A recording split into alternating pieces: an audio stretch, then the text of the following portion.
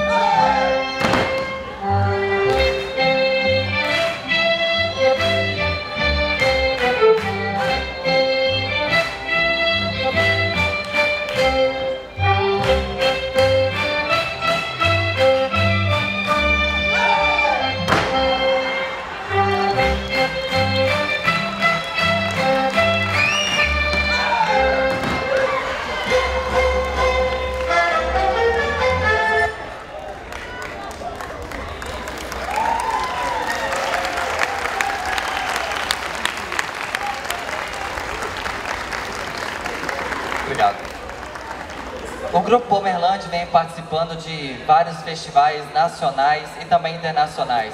Já realizamos apresentações em diversos estados como Rio Grande do Sul, Santa Catarina, Paraná, Minas Gerais, Distrito Federal, São Paulo, Rio de Janeiro. No ano de 2011, tivemos a oportunidade de passar pela Alemanha, pela Polônia, 2013 pela Argentina e hoje, é claro, realizando mais do que um sonho. Pela primeira vez em 28 anos de existência do Pomerland, realizamos o nosso sonho de vir para o Nordeste. Com vocês, a última dança. Nós queremos deixar o nosso abraço caloroso das terras pomeranas e agradecer a todos pelo calor humano de Fortaleza do Ceará. Que terra bonita, hein? Parabéns pelo estado de vocês. E é claro que queremos encerrar a nossa apresentação, já deixando o convite para amanhã à noite, para todos prestigiarem a nossa apresentação e fecharemos com o Pomerich Cracóvia. Com vocês, Pomerlan.